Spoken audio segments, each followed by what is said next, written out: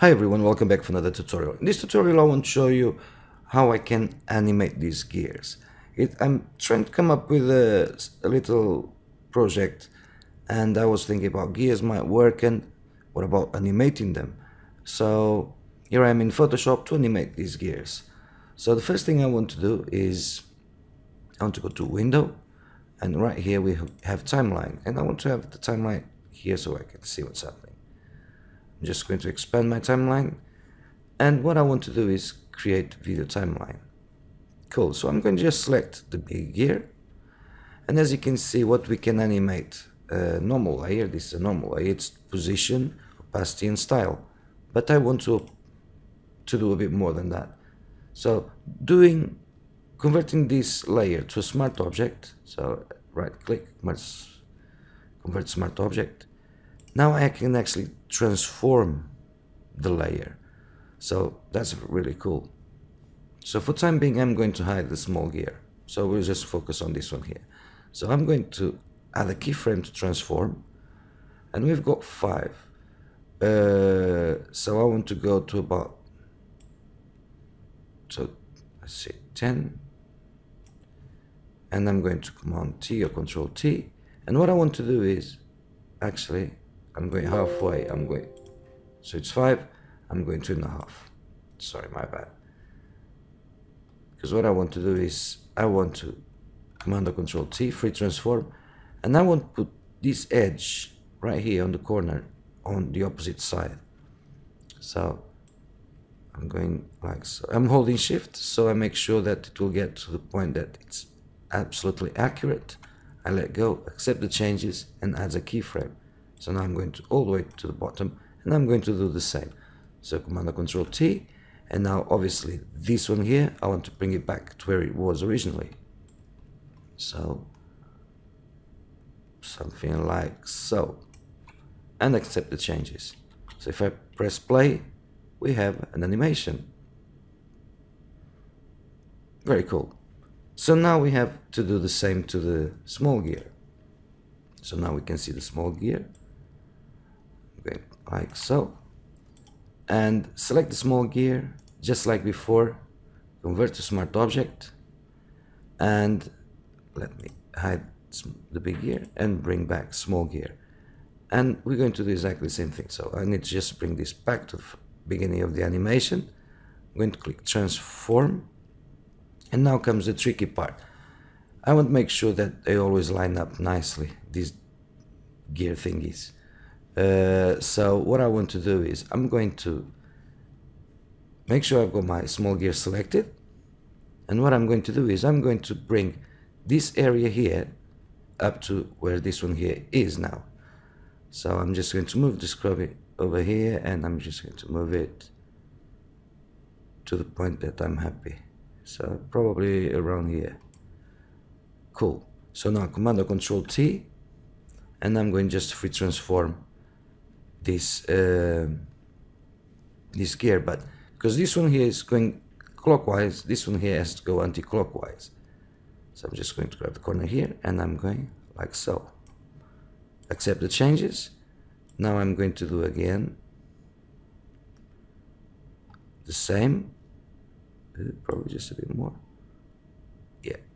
So command control T free transform and I'm going to bring the other one like so. Accept the changes. Move this the animation forward and something like so. It Probably just and it's just a bit off. And Command T and I'm going to do the same. And as you can see accept changes. As you can see it's looking quite good. So now I just want to bring it back to where it was. And command T again. Control T. And I'm going to bring the other one in. Accept the changes. And do the same Command Control T and as you can see every time we accept the changes adds a new keyframe. I don't know about you, but I actually like the show transform control, so I don't even need to press Command or Control T. But if I do so, it won't apply either the keyframe right here. So something like that. Set the changes, and we're going back again.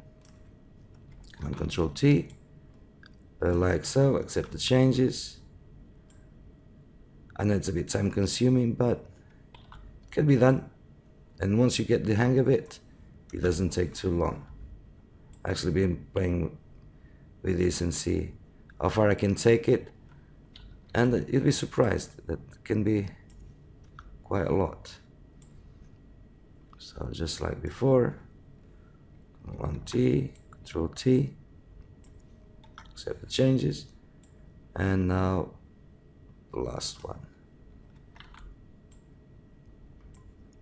accept change. So let's see how it looks now. As you can see, it looks quite cool. I'm going to just hide the show transform controls. Uh, you've got the option, you can loop playback. And as you can see, super easy. So let's take a step further now. So I'm going to select the crop tool I'm just going to expand my canvas. So something like so, accept changes on my and uh, I'm just going to fill my background. So this moment in time we have the animation here. And it looks cool. I don't know for some reason just shift it around. So let's see. Hmm.